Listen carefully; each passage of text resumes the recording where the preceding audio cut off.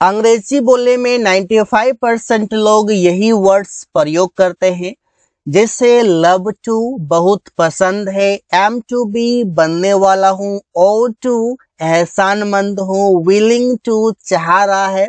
ऐसे कई सारे वर्ड्स हैं जो स्पोकन इंग्लिश में people use most of the times if you want to learn English speaking you can watch this video till the end and you will learn many things in this video use of keen to और keen to का मतलब है उत्सुक हो। उत्सुक के लिए आप और भी वर्ड्स प्रयोग कर सकते हैं, जैसे कि आप प्रयोग कर सकते हैं एक्साइटेड टू आप प्रयोग कर सकते हैं ईगर टू इस तरीके से। जहाँ पर भी आप उत्सुक है, जहाँ पर कि आप एक्साइटेड है, वहाँ पर आप तीनों वर्ड्स में से किसी को प्रयोग कर सकते हैं। एग्ज़ाम्पल स्ट्रक्चर काफ़ी आसान है।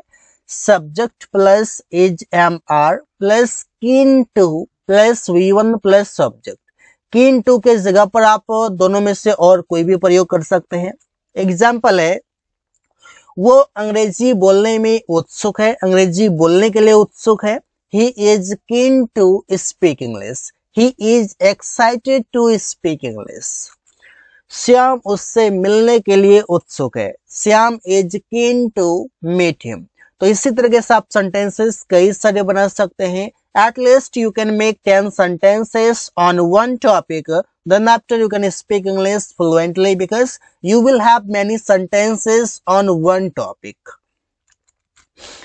owe to owe to का मतलब है एहसान मंद हो जैसे कि किसी ने आपका मदद कर दिया किसी ने एहसान कर दिया तो वहाँ पर आप कैसे अंग्रेज़ी में बोलेंगे उसके लिए आप बहुत से इजी सेंटेंस होगा subject owe to plus object हो जाएगा इससे मैं रवि का एहसान मंद हूँ, क्योंकि उसने मेरा सही समय पर मदद किया। तो सेंटेंस बनाते हैं। I owe to Ravi because he helped me on right time तुम उन सभी का एहसान मंद हो। You owe to all of them तो इसी तरीके से आप सेंटेंस सुनाते हैं। कई सारे सेंटेंस बना सकते हैं, बहुत ही आसानी से। गोट टू गोट टू का मतलब है कोई काम करना होगा। गोट टू को आप शॉर्ट में गोटा भी बोलते हैं तो आप दोनों तरीके से प्रयोग कर सकते हैं no doubt subject plus got to plus V one plus subject जैसे, मुझे उससे मिलना होगा।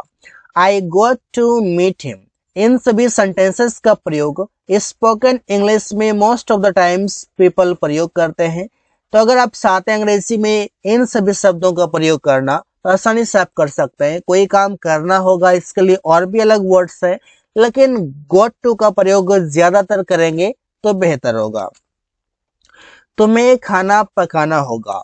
You got to cook food इससे अगर मैं अंग्रेज़ी में दूसरे तरीके से बताऊँ तो सेंटेंस हो जाएगा यहाँ पर you will have to you will have to cook food इससे आप दूसरे तरीके से सेंटेंस बोल सकते हैं।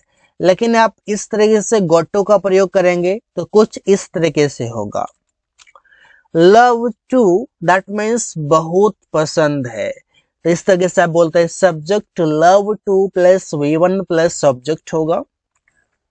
मुझे अंग्रेज़ी में बात करना बहुत पसंद है। तो सेंटेंस बोल सकते हैं I love to talk in English Ravi को कार चलाना बहुत पसंद है।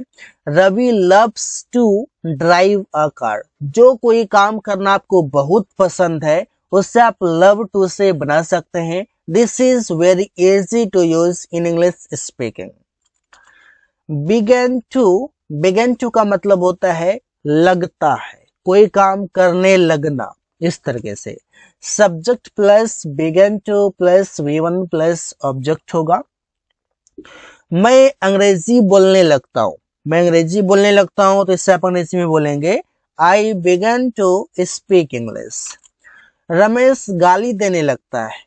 रमेश बिगेन्स टू एब्यूज तो इस तरीके से बोलते मतलब कोई काम होता है, उसके बाद आप कोई काम करते हैं। जैसे कि आप बोल सकते हैं अलग अलग तरीके से कि मुझे बुखार है, इसलिए मैं सोने लगता हूँ। या अधिक सोने लगता हो, इस तरीके से आप बोल सकते हैं। हैव टू मतलब कोई काम करना पड़ता है, कोई काम करना पड़ता है, मजबूरी वस you have to understand the condition why you are using sentence. If you know this, that means you can understand easily and make sentence on the right time. Subject plus have to plus V one plus object होगा, जो कि compulsion दिखाने के लिए करते हैं। जैसे मुझे रोज बाज़ार जाना पड़ता है। That is not my wish that is not my you can say कि uh, हमारा इच्छा नहीं है रोज जाना लेकिन मजबूरी है। मजबूरी वश जाना पड़ता है। तो आप कह सकते हैं I have to go to market daily इस तरीके से तुम्हें धूप में काम करना पड़ता है। You have to work in the sunlight तो इससे आप सेंटेंसेस बोल सकते हैं जो कोई काम आप मजबूरी वश करते हैं उन सभी सेंटेंस को आप मात्र एक वर्ड से लिख सकते हैं, एक वर्ड से आप बोल सकते हैं। एबल टू दैट मीन्स कोई काम करने में समर्थ है, योग्य है, इस तरीके से बोल सकते हैं। Subject plus is am are plus able to plus V one plus subject होगा। जैसे मैं अंग्रेज़ी बात करने में समर्थ हूँ, योग्य हूँ, क्षमता है, इस तरीके से। I am able to talk in English कितना आसान है? I am able to talk in English मैं अंग्रेज़ी बोलने में समर्थ हूँ। या अंग्रेज़ी में बात करने में समर्थ हूँ। अमरेश पहाड़ पर चढ़ने में समर्थ है। Amresh is able to climb on the mountain कितना आसान है सेंटेंस इस तरीके से आप कई सारे सेंटेंसेस बना सकते हैं जहाँ पर बात करेंगे आप कैपेसिटी की, वहाँ पर आप प्रयोग कर सकते हैं। और कैपेसिटी के लिए और भी हमारे पास वर्ड्स हैं, जैसे कि कैन प्लस वी वन है, जो बताता है कि कैपेसिटी बताता है, क्षमता बताता है कि आप कोई काम कर सकते हैं। Am to be that means बनने वाला हूँ। कोई चीज़ बनने वाला हूँ डॉक्टर बनने वाला हूँ इंजीनियर बनने वाला हूँ, शिक्षक बनने वाला हूँ सिंगर बनने वाला हूँ, कुछ भी आप बोल सकते हैं। Subject plus is am are plus to be plus other word होगा। That means you can say object Ramesh doctor बनने वाला है। Ramesh is to be a doctor तुम लोग गायक बनने वाले हो। You are to be a singer तो इस तरीके से आप सेंटेंसेस बनाते हैं। कोई चीज़ बनने वाले हैं उससे आप इन सभी वर्ड्स का प्रयोग करके आप बोल सकते हैं। लव्ड टू दैट मीन्स बहुत पसंद था। कोई काम करना आपको बहुत पसंद है। कोई चीज़ आपको बहुत पसंद है, वहाँ पर आप बोल सकते हैं। Subject loved to plus V one plus subject इससे अमन को क्रिकेट खेलना बहुत पसंद था। Aman loved to play cricket हम लोगों को गेम खेलना बहुत पसंद था। We loved to play the game अगर आप टू नहीं लगाते हैं तो लव्ड के साथ सीधा वी फोर आ जाएगा। इसे कि Aman loved playing cricket we loved playing the game इस तरीके से बोलते हैं। विलिंग टू दैट मीन्स कोई काम करना चाह रहा है, इच्छा है विश है, वहाँ पर आप प्रयोग करते हैं। Subject is am are plus willing to plus V one plus object होगा। जैसे, मैं अंग्रेज़ी बोलना चाह रहा हूँ तो सेंटेंस होगा I am willing to speak English Ramesh पैसे कमाना चाह रहा है। Ramesh is willing to earn money तो बहुत आसान सेंटेंस है। इस तरीके से एटलीस्ट अगर आप टेन सेंटेंसेस का प्रैक्टिस कर लेते हैं that means you can speak English on the spot whenever you talk in English going to that means कोई काम करने जा रहा हूँ, जैसे subject is am are plus willing subject plus is am are plus going to plus V one plus object हो जाएगा। जैसे मैं मैच खेलने जा रहा हूँ। I am going to play the match वे लोग काम करने जा रहे हैं. They are going to work कोई काम करने जा रहे हैं, वहाँ पर आप इस तरीके से बोल सकते हैं. विश टू दैट मीन्स कोई काम करने की इच्छा है. वहाँ पर प्रयोग करते हैं. Subject to wish to plus V one plus object होगा. मेरा मिठाई खाने की इच्छा है. I wish to eat sweets हम लोगों को घूमने की इच्छा है, या हम लोगों का घूमने की इच्छा है वी विश टू वॉक इस तरीके से आप प्रयोग कर सकते हैं।